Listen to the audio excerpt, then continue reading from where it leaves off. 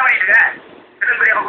என்ன வார்த்தை சொல்லிட்டாங்க அதை கவனிக்க முடியாது. அப்படிங்கிற விஷயம் எழுத தெரிஞ்சிடும் முன்னாடி சொல்லிக்கலாம் போ.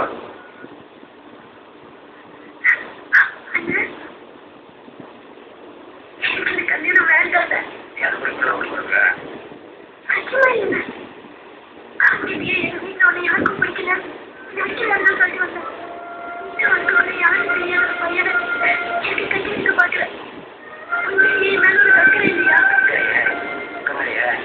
Thank you.